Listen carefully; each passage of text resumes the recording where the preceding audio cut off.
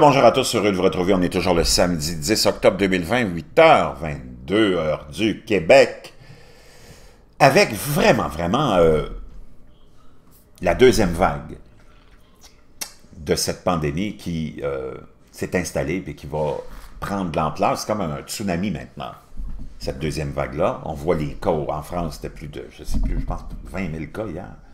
En Europe, plus de 100 000 cas. Euh, au Québec et au Canada. Au Québec, c'était plus de 1100 cas. Les hôpitaux commencent à se remplir. On commence à préparer des hôpitaux de fortune un petit peu partout aux États-Unis. Même ici, on a Sacré-Cœur hein, qui a construit 96 euh, ou 98 chambres dans le stationnement de l'hôpital. Euh, je pense qu'à Saint-Eustache, on est en train de faire la même chose. On se prépare vraiment pour pouvoir... Tout ça, c'est pour libérer les soins intensifs pour que toutes les autres malades atteints de toutes sortes d'autres maladies puissent être soignés. Sinon, les soins intensifs sont tous occupés par les malades de la COVID. C'est ça qu'il faut comprendre. C'est ça la rationalité. Mais c'est pas facile dans le monde d'aujourd'hui de trouver du monde rationnel.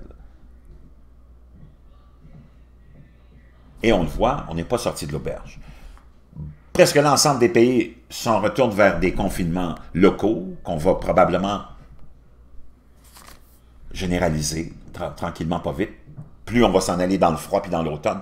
Là, on est chanceux, il y a encore du beau temps, c'est plutôt confortable, mais plus ça va être froid, plus on va rester à l'intérieur, plus tu restes à l'intérieur. Ben, c'est ça la logique. Plus il y a de contagion.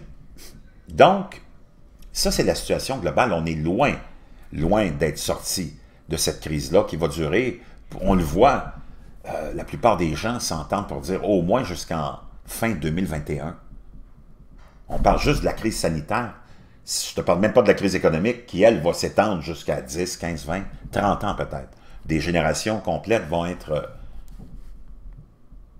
liquidées par euh, la pandémie. Ils auront tout perdu. Comprends-tu ce que je veux dire? C'est vraiment important de comprendre ça.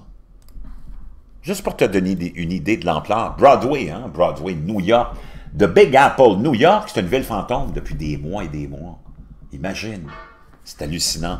Ben, Broadway vient d'annoncer qu'ils vont prolonger la fermeture jusqu'en mai 2021.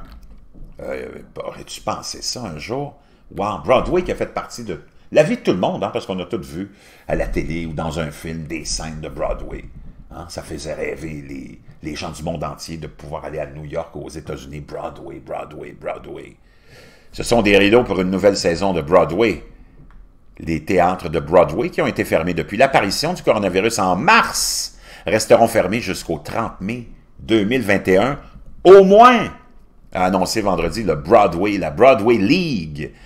Il y avait 31 productions de Broadway sur les planches lorsque les représentations ont été interrompues le 12 mars en raison de la pandémie, et huit autres spectacles qui étaient en répétition et qui prévoyaient d'ouvrir dans les six semaines suivantes avant la date limite pour l'admissibilité au Tony Award fin avril. Les Tony Awards, qui euh, ont été reportés de leur date prévue de juin, devraient maintenant avoir lieu plus tard cet automne pour honorer les spectacles qui ont réussi à ouvrir plus tôt dans la saison de Broadway. Les nominations seront annoncées le 15 octobre. Mais l'annonce de vendredi tue la saison 2020-2021 de Broadway et met un frein non seulement à la communauté théâtrale généralement dynamique de New York, mais également à une pièce maîtresse de l'industrie du tourisme de la ville.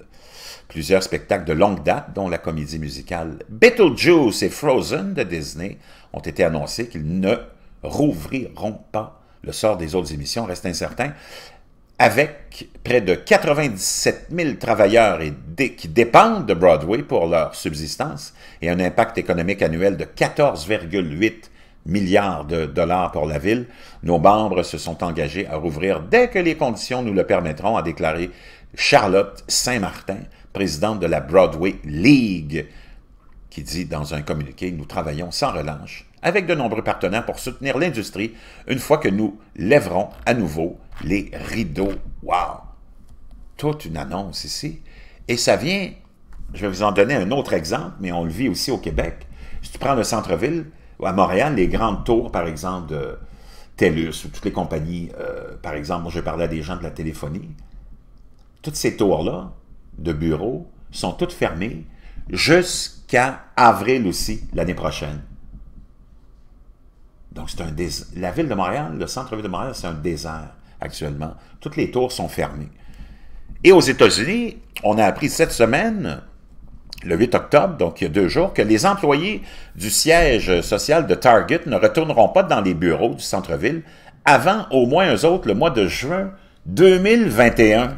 La société travaille sur un modèle à long terme qui combinera le télétravail et le travail à distance, ont déclaré des dirigeants. Le siège social et magasin de détail de Target sur Nicolette Mall à Minneapolis, qu'on voit l'image ici.